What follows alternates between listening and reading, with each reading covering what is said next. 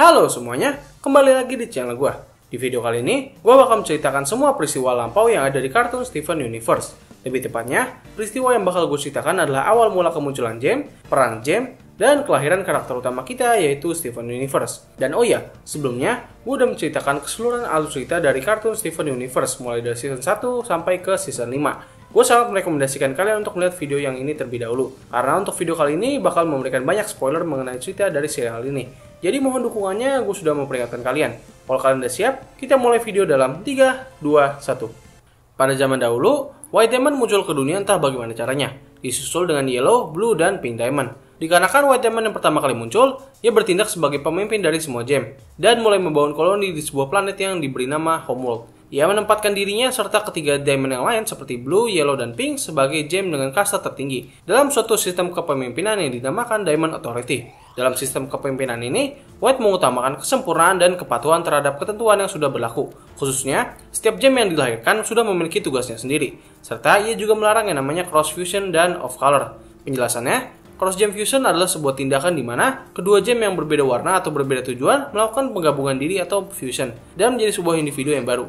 Untuk off color adalah para gem yang ketika lahir mereka sudah dalam keadaan cacat. Demi memperluas kekaisarannya, para Diamond melakukan kolonisasi terhadap planet-planet yang ada di berbagai sistem tata surya. Mereka menginvasi, mengambil sumber daya, dan menjadikan planet itu sebagai tempat penghasil gem-gem baru.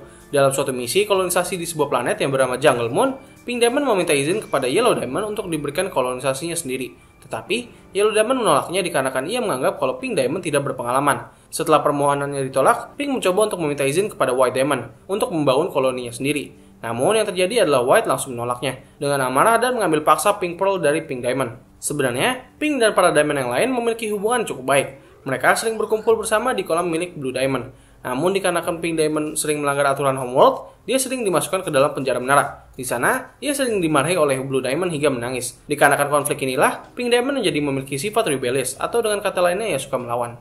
Setelah berkali-kali memohon kepada Blue dan Yellow, akhirnya Pink Diamond mendapat kesempatan untuk membangun koloninya sendiri di sebuah planet yang bernama Bumi. Tidak hanya itu saja, ia juga mendapatkan Pearl baru setelah Pearl lamanya diambil alih oleh White Diamond. Mereka pun sampai di bumi lalu membangun sebuah base di bulan untuk mengawasi perkembangan koloni di bumi. Mereka juga membangun beberapa bangunan yang berguna untuk mempermudah pembangunan koloni. Beberapa di antaranya adalah Prime Kindergarten, sebuah fasilitas yang bertujuan untuk menciptakan gem. Dan sisanya adalah Lunar Sea Spire, Communication Hub, Sky Spire, dan Sea Shrine. Tidak hanya itu saja, beberapa gem yang berasal dari Homeworld datang ke bumi. Salah satunya adalah Neprite dan para pasukannya. Pada akhirnya, Pink Diamond mendapatkan apa yang inginkan setelah sekian lama. Tetapi, semakin berjalannya waktu, ia mulai merasa bosan dengan aktivitasnya yang hanya mengawasi perkembangan koloni. Hingga suatu hari, ia melihat bagaimana serunya para Amethyst yang baru lahir saling berinteraksi satu sama lain. Ia ingin bergabung dan merasakan keseruan mereka. Tetapi, ia juga sadar apabila ia melakukan hal itu, maka dirinya akan ketahuan dan dimarahi oleh Blue dan Yellow Diamond. Pearl menyarankan Pink Diamond untuk menyamar sebagai salah satu pasukan di sana, dengan nama samaran Rose Court. Dengan penyamaran sebagai Rose Court, Pink dan Pearl tiba di Prime Kindergarten dan bertemu dengan para Amethyst. Agar tidak menarik perhatian yang tidak diinginkan, Pink dan Pearl pergi melihat-lihat kondisi bumi. Di sana, Pink terpesona dengan keindahan di bumi. Ia mulai melakukan tindakannya selama ini, dengan melakukan kolonisasi, ia akan menghancurkan keindahan yang ada di bumi dan sekaligus membunuh semua ekosistem kehidupan di dalamnya. Setelah itu, ia pun memohon kepada Blue dan Yellow Diamond untuk membatalkan kolonisasi di planet bumi. Tetapi, mereka berdua mengabaikannya, dan Yellow mengatakan kalau Pink harus menyelesaikan apa yang sudah ia mulai. Sementara itu, Blue yang mengira kalau Pink hanya takut apabila manusia akan punah, dikarenakan kolonisasinya memutuskan untuk membuat human zoo atau kebun binatang manusia dengan menculik beberapa manusia dan menempatkannya di sebuah fasilitas khusus. Berkali-kali gagal dalam memohon kepada Blue dan Yellow, akhirnya Pink memutuskan untuk melakukan rebellion atau pemberontakan terhadap Diamond Authority dengan alter egonya sebagai Rose Court dan sidekicknya yaitu Pearl. Mereka menciptakan sebuah grup pemberontak yang kita kenal dengan nama Crystal Gem. Seiring jalan waktu, grup rebellion ini memiliki jumlah anggota yang terus bertambah. Mengetahui keberadaan pasukan rebellion, Blue Diamond dan pasukannya memutuskan datang ke bumi untuk menghentikan pasukan rebellion sebelum keadaan menjadi lebih kacau. Salah satu pasukan dari Blue Diamond adalah Sapphire, yang merupakan gem yang dapat melihat sedikit ke masa depan, serta para penjaganya yang dikenal sebagai Ruby. Tiba-tiba, Rose Court dan Pearl datang untuk menyerang pasukan Blue Diamond. Di tengah pertarungan, Ruby berusaha menyelamatkan Sapphire, namun mereka berdua secara tidak sengaja melakukan fusion dan menghasilkan individu yang kita kenal sebagai Garnet. Seluruh pasukan Blue Diamond teralihkan kepada Garnet. Hal ini memberikan kesempatan untuk Rose dan Pearl melarikan diri. Di saat para pasukan ingin menangkap Garnet, Ruby dan Sapphire kembali terpisah, dan mereka segera melarikan diri bersama menuju bumi. Ruby dan Sapphire yang kini hanya berdua saja mulai saling berbicara dan mulai menyukai satu sama lain. Hingga mereka berdua melakukan fusion dengan kemauan mereka sendiri. Tiba-tiba, Rose dan Pearl bertemu dengan mereka. Rose sangat terpesona dengan hasil fusion mereka. Ia memutuskan untuk mengajak Garnet masuk ke dalam grup Crystal Gem. Ia juga mengatakan bahwa mereka tidak perlu mempertanyakan siapa dirinya dan tindakan yang telah mereka lakukan. Setelah grup Rebellion semakin besar, Pink Diamond berusaha memohon sekali lagi kepada Blue dan Yellow Diamond untuk menghentikan kolonisasi dengan alasan grup rebellion semakin sulit untuk ditangani. Tapi tentu saja, Blue dan Yellow mengabaikannya kembali. Seiring berjalan waktu, pertarungan antara pasukan rebellion dan Homeworld berubah menjadi perang Gem. Diperkirakan peperangan ini berlangsung selama 1000 tahun. Perang ini terjadi di seluruh permukaan bumi. Crystal Gem yang kini memiliki jumlah anggota yang cukup banyak, mampu menyaingi para pasukan dari Homeworld. Dalam rentan waktu ini juga, Roseport merekrut Bismuth. Ia menugaskannya untuk membuat suplai senjata bagi para rebellion. Bismuth menciptakan senjata untuk Roscoe yang dikenal sebagai Rose Sword. Dalam perang ini juga, Lapis Lazuli datang ke bumi. Namun ia langsung ditusuk oleh Bismuth yang mengakibatkannya berubah menjadi gemstone.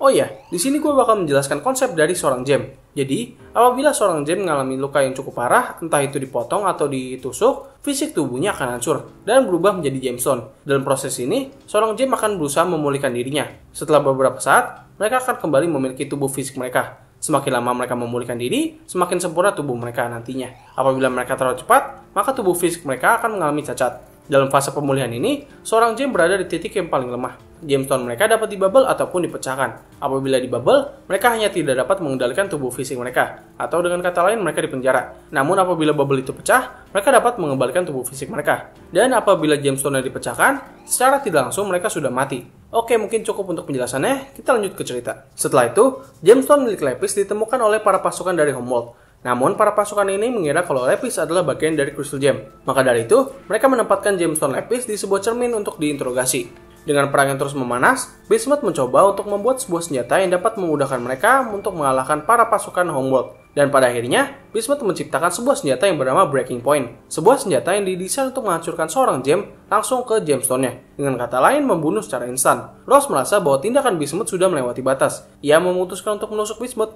dan membabel gemstone-nya. Ia juga menyembunyikannya dari para crystal gem yang lain. Sementara itu, demi menambahkan jumlah pasukan, para gem dari Homeworld membuat sebuah beta kindergarten untuk menghasilkan lebih banyak pasukan tentara yang memihak kepada mereka.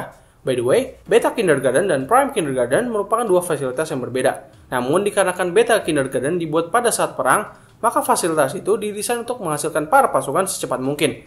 Alhasil, beberapa pasukan terlahir cacat. Beberapa di antaranya adalah Jasper. Untuk kasus Jasper sendiri, dia terlahir dengan ukuran tubuh yang lebih besar daripada pasukan biasanya.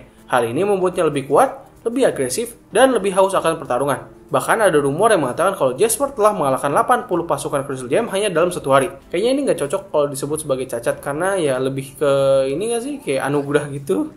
Oke, kita lanjut. Dengan perang yang terus berlangsung dan pasukan yang terus bertambah dari kedua pihak, Ross merasa kalau perang ini tidak akan pernah selesai. Setelah upayanya untuk memohon kepada Blue dan Yellow terus gagal, ia memutuskan untuk mengambil langkah yang lebih ekstrim. Pink dan Pearl merencanakan sebuah kematian palsu Pink Diamond. Dengan cara, Pearl merubah bentuknya menjadi Rose Quartz lalu menusuk Pink Diamond yang sudah menelan serpihan gem. Hal ini bertujuan untuk menciptakan ilusi bahwa Pink Diamond telah benar-benar hancur. Setelah kejadian itu, Pink Diamond kini mengubah identitasnya secara permanen menjadi Rose Quartz, dan hanya Pearl yang tahu akan rahasia ini. Kejadian ini didengar oleh seluruh gem yang ada di galaksi termasuk para Diamond. Blue dan Yellow yang mendengar kabar ini merasa sangat terpukul, terutama Blue Diamond yang mengalami kesedihan sampai beribu-ribu tahun. Dan pada akhirnya perang gem pun berakhir. Setelah perang berakhir, bumi dianggap sudah tidak layak untuk dikolonisasi. Tetapi mereka masih memanfaatkan sisa peperangan, khususnya pecahan gemstone. Para gem dari Homeworld mulai bereksperimen dengan cara menyatukan pecahan gemstone yang berbeda secara paksa, atau nama lainnya adalah Force Fusion. Salah satu eksperimen yang paling kejam adalah diciptakannya sebuah senjata bioteknologi yang dikenal sebagai The Cluster. Cluster sendiri merupakan pergabungan dari ribuan atau bahkan jutaan serpian gemstone yang disatukan lalu ditanam di bawah permukaan bumi. Hal yang membuat cluster sangat mengerikan adalah bahwa sebenarnya para serpian gem ini masih memiliki kesadaran. Mereka dipaksa untuk disatukan dan hal ini membuat mereka tersiksa selama ribuan tahun. Sementara itu, para gem dari Homeworld diminta untuk mengevakuasi dari bumi, karena para Diamond akan melakukan tindakan terakhir untuk menghancurkan para Crystal Gem. Pada momen ini, banyak gem dari Homeworld yang tertinggal. Beberapa di antaranya adalah Neprite dan krunya, serta Lepis yang masih berada di dalam cermin. Dan pada saat evakuasi, gemstone-nya terinjak dan retak. Setelah semua gem dari Homeworld berhasil dievakuasi, ketiga Diamond menyatukan kekuatan mereka dan menembakkan sebuah sinar cahaya yang bertujuan untuk menghancurkan para Crystal Gem yang ada di bumi. Tetapi, sinar ini tidak menghancurkan mereka. melainkan membuat mereka menjadi corrupted. Mereka yang terkena sinar ini berubah menjadi monster gem yang sangat mengerikan dan tidak memiliki akal. Namun tidak semua gem yang ada di bumi terkena sinar ini. Beberapa di antaranya yang selamat adalah Rose Quartz, Pearl, dan Garnet yang berlindung di balik perisai Rose. Pada titik ini juga, Amethyst belum lahir. Bismuth masih berada di bubble, dan List masih terperangkap di cermin.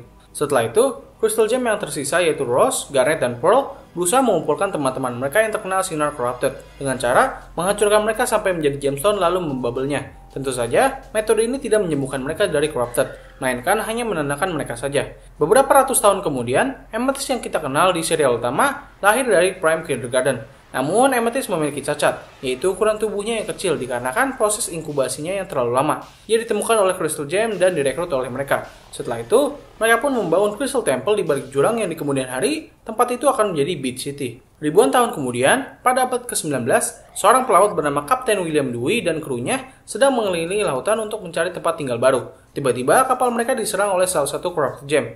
Lalu mereka diselamatkan oleh seorang wanita raksasa yang bernama Obsidian. Yap, wanita ini adalah Gem. Lebih tepatnya merupakan fusion antara Rose, Garnet, Amethyst, dan Pearl. Kapten Wei sangat berterima kasih kepada mereka. Dan ia pun tiba di pulau para Crystal Gem tinggal. Ia dan krunya tinggal di sana dan menamai pulau itu sebagai Beach City. Sementara itu, salah satu kru Kapten Dewey yaitu Buddy Badwick memutuskan untuk meninggalkan krunya dan memulai karir barunya sebagai penulis dan penjelajah. Ia mengunjungi berbagai tempat di seluruh dunia, khususnya tempat-tempat yang dulunya menjadi area peperangan gem. Hingga akhirnya, ia pergi ke sebuah padang gurun, di mana ia bertemu dengan Roscoe yang sedang bersama sekelompok singa. By the way, dari salah satu singa ini di kemudian hari akan mati entah karena apa. Namun, Rose memutuskan untuk membangkitkannya kembali.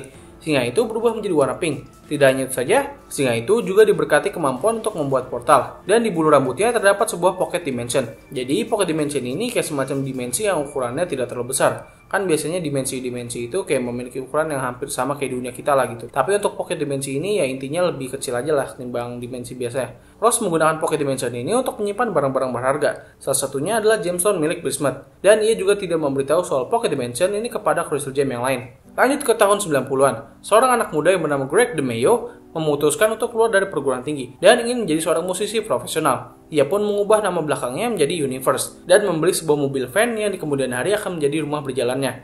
Greg menggelar konser di pinggiran pantai namun tidak ada yang hadir hingga suatu hari Ross datang ke konsernya. Setelah pertemuan pertamanya dengan Ross, ia langsung jatuh cinta dan memutuskan untuk berhenti mengejar mimpinya.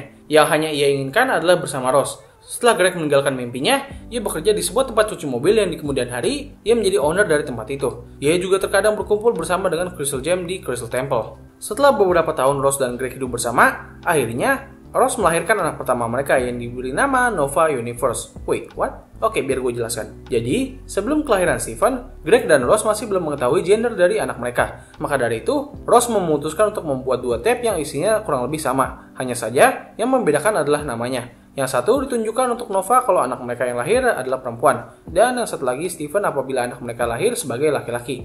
Dan ya, seperti yang kita tahu bahwa yang lahir adalah Stephen Universe. Dikarenakan hubungan kedua ras yang tidak biasa, hal ini membuat Rose harus mengorbankan tubuh fisiknya dan berubah menjadi Stephen. Stephen pun lahir dengan Jameson milik ibunya yang berada di pusarnya. Dikarenakan kepergian Ross, para Crystal Gem bertanggung jawab untuk menjadi figur ibu buat Stephen. Greg dan para Gem bekerja sama untuk merawat Stephen. Mereka pun membangun sebuah rumah di Crystal Temple sebagai tempat tinggal Stephen. Oke, mungkin cukup sekian dari video gue kali ini. Terima kasih atas waktu yang telah kalian berikan untuk menonton video gue. Kalau kalian suka video ini, jangan lupa like dan share video ini ke teman-teman kalian, khususnya mereka yang suka dengan kartun. Terima kasih atas perhatiannya, gue undur diri, sampai ketemu lagi di video selanjutnya.